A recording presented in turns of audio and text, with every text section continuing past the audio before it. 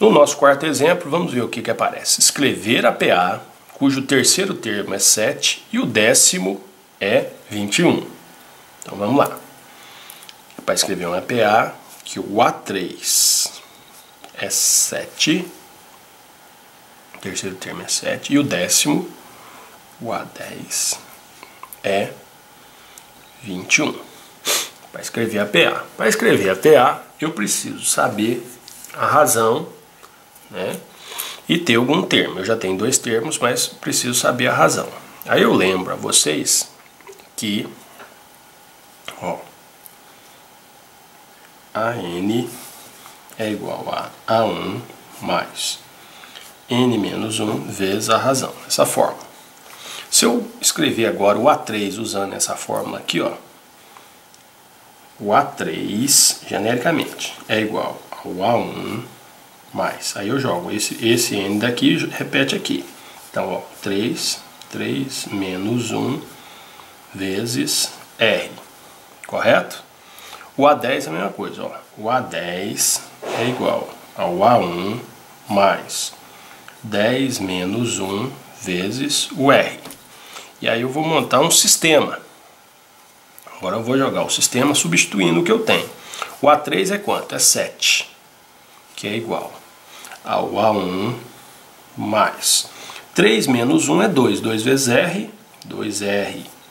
O A10, o A10 é 21, que é o A1 mais 10 menos 1, 9. 9R. Tá vendo? Agora eu tenho um sistema. Se eu pegar aqui, por exemplo, e multiplicar aqui por menos 1, vamos ver o que, que vai dar. Né? Vamos fazer essa, essa continha do lado aqui, ó. No rascunho. Vou fazer aqui o rascunho aqui no cantinho, ó.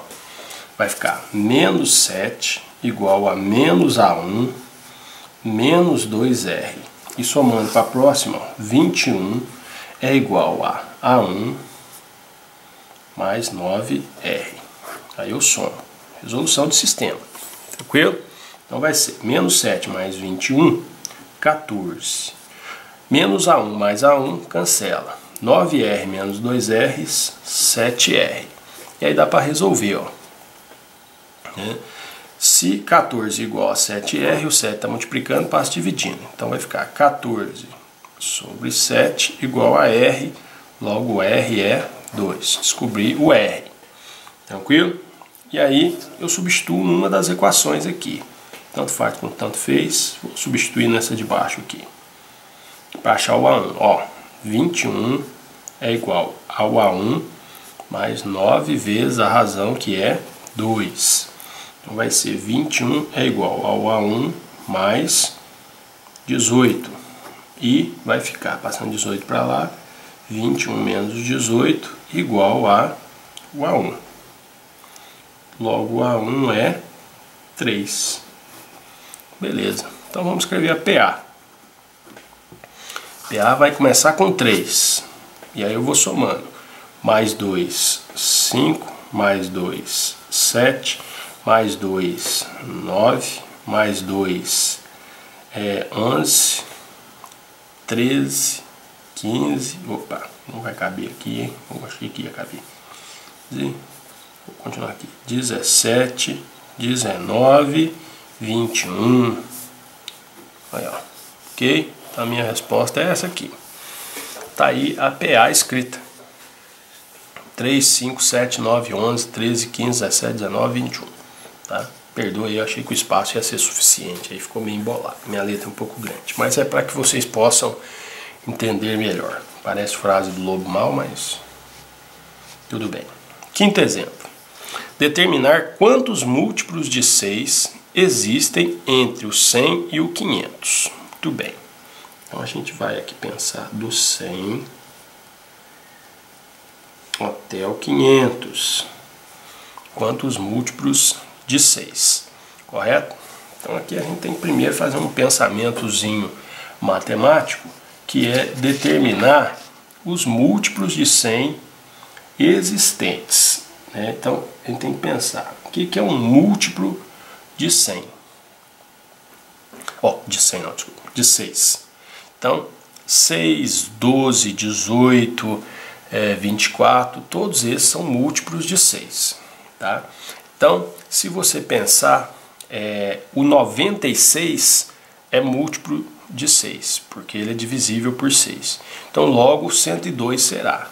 Então, ó, 102 vai ser o meu primeiro múltiplo de 6, que dá para dividir.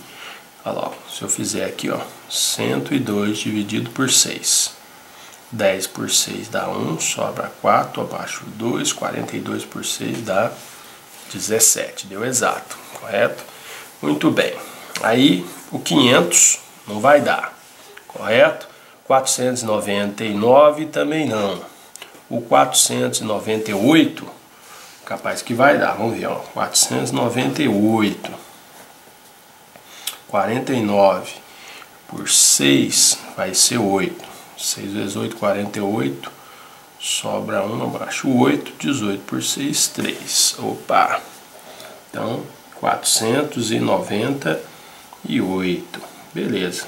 Então, na verdade, eu vou considerar uma PA que vai de 6 e 6.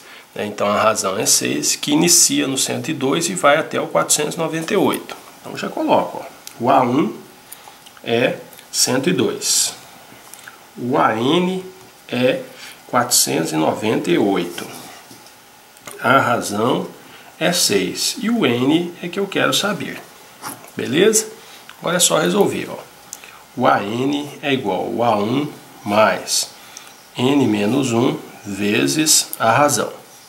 Então nós temos 498, 102 mais N menos 1 vezes 6.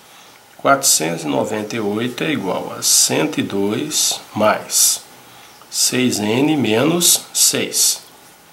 498 é igual a 102 menos 6, 96 mais 6n. Passo 96 para lá. 498 menos 96 é igual a 6n. Tranquilo? Muito bem. 498 menos 96 vai dar 402 igual a 6n. O 6 está multiplicando, passa dividindo. 402 sobre 6 igual a n. Vou fazer a divisão aqui, ó. 402 dividido por 6, 40. Vai dar 6, 6 vezes 6, 36. 42 dividido por 6 vai dar